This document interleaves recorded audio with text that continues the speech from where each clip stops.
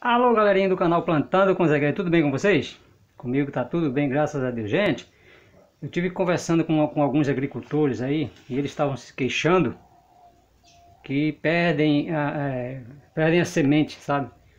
No linguajar deles, eles falam que a semente resfria. Por exemplo, a semente de abóbora. Vou mostrar uma para vocês aqui. Tá?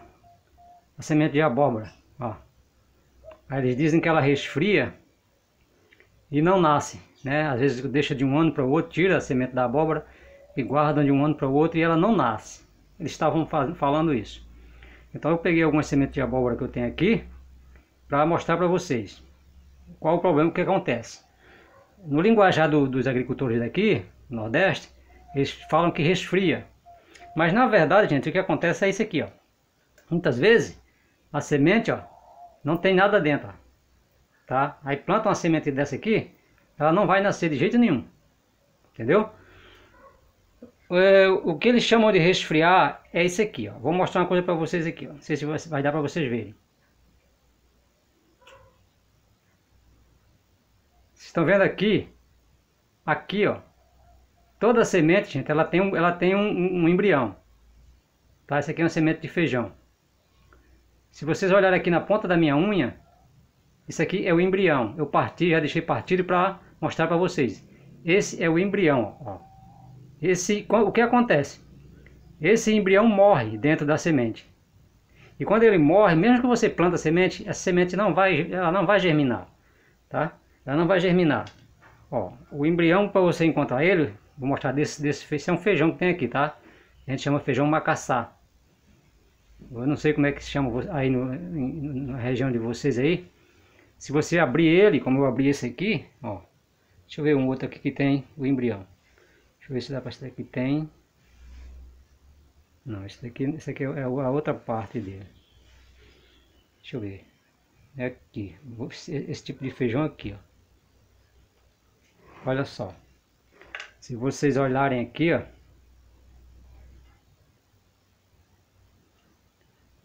Aqui, ó. Esse é o embrião, tá? Fica dentro do dentro do, da, do, do, da semente. E aí quando você planta, que a semente molha, e molha o chão, e aí esse embrião vai crescendo, vai crescendo até ele estourar a semente, rasgar essa semente e esse embrião sair para fora, né? E, esse, e, daqui vai formar o pé de feijão. Isso acontece com, com toda a semente, com toda a semente. A abóbora, por exemplo, o embrião dela fica aqui, no bico aqui, ó. Essa parte aqui, ó. Onde aqui, ó. O embrião fica aqui, ó. Você, você descascar ela com jeitinho, você vai encontrar o embriãozinho dela formado. É quando você planta, ele nasce. Mas aí, uma dica. Qual a dica para minha semente, por exemplo?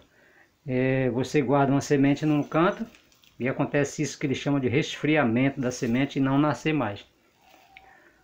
É, é justamente isso, é o embrião que morre dentro da semente. Eu estou aqui com um monte de semente aqui de abóbora e semente de da maracujina que eu ganhei, tá? Então, o que é que você vai fazer para essa semente não perder esse embrião e não morrer? Muito simples, você vai pegar cinza, cinza de queimada aqui, ó, cinza.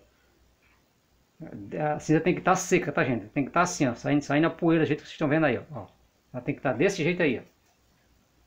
Você vai pegar um recipiente de vidro desse aqui, ó, vidro, plástico, qualquer coisa que é, você possa fechar e guardar. Vai pegar todas essas sementes. Isso serve para qualquer tipo de semente, gente. Qualquer tipo de semente. Tô, eu estou usando essa aqui como exemplo porque eu quero guardar essa semente aqui. E você pode ficar até 5 anos com essa semente guardada ou mais, dependendo do local que você vai guardar ela. Tá? Você pode até ficar 5 anos aqui que o embrião não vai morrer, usando o que? A cinza de queimada aqui, ó. O que, é que a gente vai fazer aqui, ó? A gente tem esse montão de cinza aqui, você vai derramar aqui dentro, aqui, ó. ó. Pode derramar aqui dentro aqui, ó. Tá dando para vocês verem aí? Ó. Derramar aqui, ó.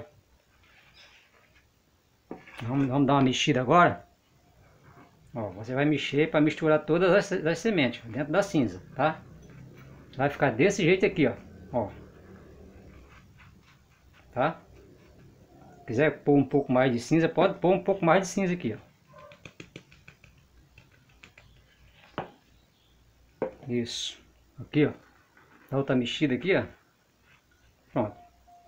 Você vai colocar a tampa aqui, ó. Uma tampa de preferência de rosca, né? Ou dessa daqui mesmo. Tá vendo aqui, ó? Sua semente vai passar aqui mais de 5 anos aqui, ó. Guardadinha. Não vai morrer o embrião, tá? Você coloca num lugar que pegue... É, seja um lugar fresco, um lugar que não tenha quintura.